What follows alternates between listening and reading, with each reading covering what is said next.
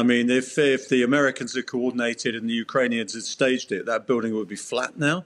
If you're going to have a shot at uh, the building, uh, you you actually give it your best shot. All I can see is a staged, what they call a false flag attack, mm. uh, high on illuminant and very very low on explosive. I mean, the ironic thing is, it's a false flag attack, and the flagpole survived. uh, yeah. quite extraordinary. So it's either a homemade thing um, or it's something they've staged for themselves. It, it, just shows you how desperate they are to show themselves as victims now. Yeah. But I, noticed looking at Russian TV, they're not even mentioning it. Oh, really, really. Well, that's that, that's that's curious. I mean, because it is suggested by some that this was put up by by Russia to try and foster a sense of uh, solidarity among the Russian people to show the people of Russia the war's you know close to home. It hits hits close to home, and, and let's get behind the, the, the, the fighters of Russia in Ukraine. That was part of the theory, but you clearly clearly don't buy that. And the idea that it's not being much publicised in Russia kind of supports that suspicion. Yeah, it does. I mean, I, I think it's a, a bit of a pattern that you see. I'm, I believe absolutely sincerely and certainly that uh, Russia uh, did the Nord Stream attack with its specialist submarines. They've got eight types of them. And this is the next in a sequence of Russia trying to show that it's actually suffering. Um, well, of course, we know Ukrainians have been very careful not to attack the Russians unless.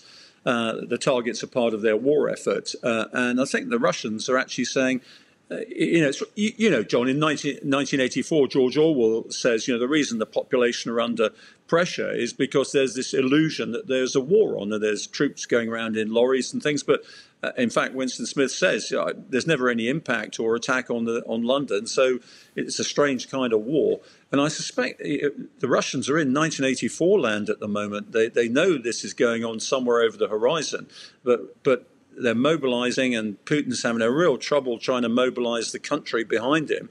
And this may be a pathetic attempt, I'm afraid, to try and convince the Russian people uh, that there is a war going on. Yes. Uh, you, know, you wonder from the Ukrainian point of view, tell me your thoughts. Is there a particular benefit to killing Putin if that were, were possible? I mean, of course, he's the, the commander of Russia's military, but who's to know what that would lead to? Who would come afterwards? Would they be more, more savage in the way that they prosecute the war than even Putin? No, in fact, it suits the Ukrainians to keep him in, in, in, in post. I mean, he's a he's a prescribed uh, war cram- criminal candidate in The Hague. Um, he's he's actually conducting a really inefficient strategic and tactical campaign in Ukraine.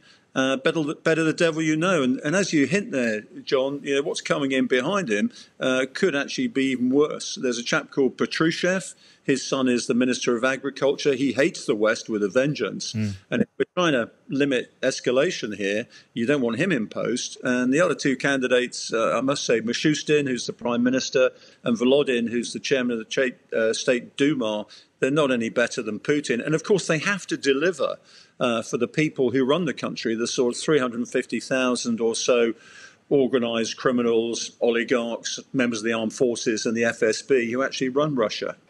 Now, now we've, we've seen today President Zelensky of Ukraine in The Hague arguing for Vladimir Putin to face justice at the International Criminal Court. There's a warrant out for Vladimir Putin. Is there any part of you that thinks a warrant on Putin may be counterproductive to the hopes of eventually getting round the negotiating table? Or is it simply a matter of justice and answering for the crimes, the many crimes that have been committed? Really good point. It's something I used to dwell on when I was serving. Is um, if we'd let Gaddafi escape, for example, from Libya, the war would have been over much earlier. And you think if you know Assad had been able to flee somewhere safe, uh, then the war wouldn't have gone on so long. But I think the scale of the crimes here, both against Ukraine uh, and its people, are so great that I think that the rest of the world will be appalled if that pressure wasn't put on. I noticed that the um, uh, the South Africans have said if uh, if Putin goes down there for a BRICS meeting, he'll be arrested, mm. and that's a sign of the times. I think. Yes. my own view, for what it's worth, John, is that he may be put up as a sacrificial lamb by the Russians when they've had enough at the end of this year. Interesting thought. Uh, just lastly, you mentioned a moment ago the uh, the reports of Russian ships being seen near the site of the Nord Stream gas pipeline before those explosions last September. Still, you know, no clear, conclusive evidence of what happened there, but you have your, your, your sights on Russia. Oh yeah, I mean, uh, everybody says, "Oh, you know, what what interest did they have?" Well, the interest they have is they were showing themselves as a victim Um, and also, they're doing a typical mafia trick of saying, look, if I can do it here and prepared to do it to myself, I'll do it anywhere. Uh, but the critical issue is there are only two countries in the world that have the capability to do it with that precision. One is the United States, and all their capability was an ocean away, so it wasn't them. Um, and the Russians, so the Russians for some 30 years now have had an organization called GUGI, uh, G U G I. Uh, and it's their Directorate of uh, Deep Sea Exploration and Exploitation. Mm. And they have about eight specialist submarines, some of which are mounted on big uh, former uh, missile submarines that are precisely in the business of doing this sort of job.